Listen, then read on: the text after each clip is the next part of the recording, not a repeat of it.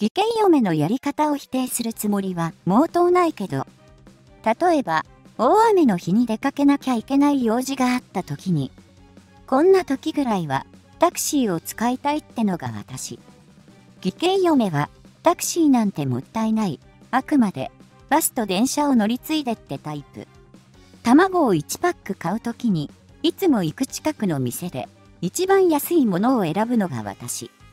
遠い方のお店でも10円安かったらそっちへ行くのが義兄嫁。私は一つのスーパーでその日に必要なものは全部買ってくるけど、義兄嫁はどの店は何が安いか頭に入ってて節約のプロ。きっと主婦としては義兄嫁の方が理想的なんだろうなと思うけど、私が同じことをやったらストレスでイライラしてしまうだろう。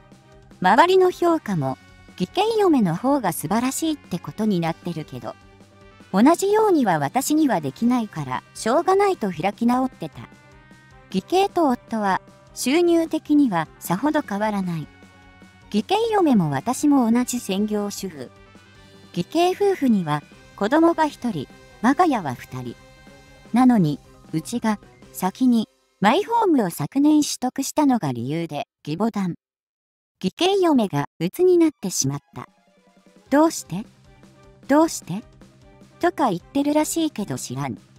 してきた。っていうか鬱になって子供の面倒見るのを頼まれた時に、ちょっと前まで元気だったからびっくりして、特に深い意味もなく何かあったんですか？みたいな感じで聞いたら、まあねマーホームはあの子の夢だったから先越されたってショックだったんじゃない？って言われたんだ。どうして？の部分は夫から聞いた。ついでにちょっと愚痴っとこ。義母にそれ言われた時、弟が先に家を持つなら、せめて事前に兄に相談してほしかったみたいな感じで軽く非難されたんだ。そういうの、兄弟で順番考えて相談するのって普通なのかな。私たちの家族計画、人生設計のことだから、伺い立てる必要があるなんて考えたこともなかった。前々からなるべく、早めに一戸建てが欲しいんだみたいなことは話してたけど、もし仮に決めました。で、義兄夫婦に話をして待てとか言われたら、待たなきゃいけなかったのかな。よくわかんないわ。